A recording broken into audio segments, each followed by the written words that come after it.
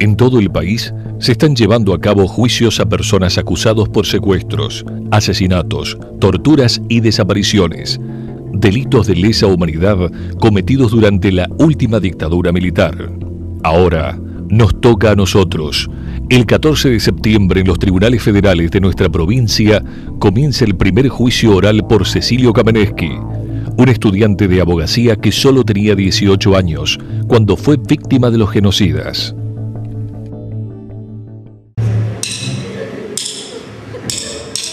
Thank you.